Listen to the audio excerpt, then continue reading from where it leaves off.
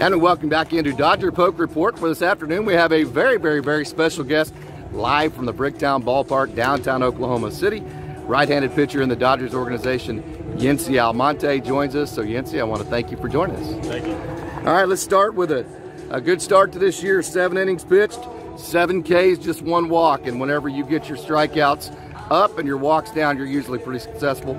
So start about uh, talk about how 2022 has started for you. Probably one of the best starts I've had going into spring training and going into a season. So right now my confidence is really high. I'm working my new pitch mix now. No more 14s, more two seams and sinkers. So seeing the success I'm having with it early kind of feels pretty good. 2020 was a huge year for you, especially when you look at your strikeout to walk ratio.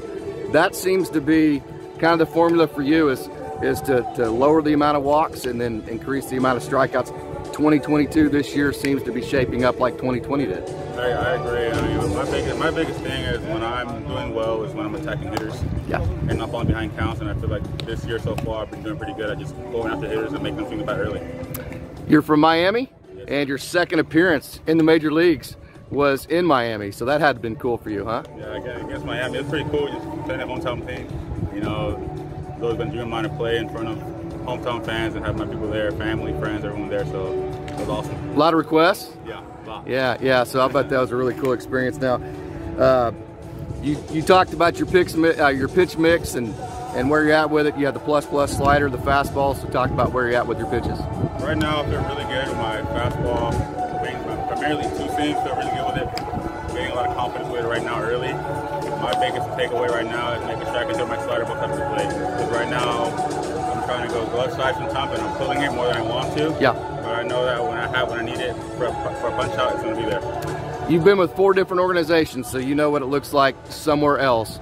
Now you're with the Dodgers. I think the Dodgers have the best developmental system in the game. Can you speak to that? I, I agree. I mean, I, I got here second day of spring training. They set me down, went over everything, analytics wise, stuff that I never heard before, and they pretty much told me, told me the game plan. And doing it games right away, I'm taking success I'm having, they tell me that what they're doing here is right. Yeah, and obviously you're a guy that pitches with a lot of confidence. Yeah. As your handle on social media would say, Showtime. How'd you come up with that? Well, I played basketball in high school. Too. okay. And messing around in the park, behind my house, I'll go out there and just learn how to dunk. So I start windmilling and doing all this crazy stuff. And every time I went ah, up, they're ah, like, hey, it's showtime. Ah, and that's what I stuck with it. I got to ask you then, can you still windmill? Oh, yeah. Oh, yeah, I thought they said pitchers aren't athletes, huh? Oh, wrong guy. Wrong guy, wrong guy. Hey, Yency, uh, so excited to have you as a Dodger. You've had a wonderful year so far in 2022. Just best of luck. Thank you. I appreciate it.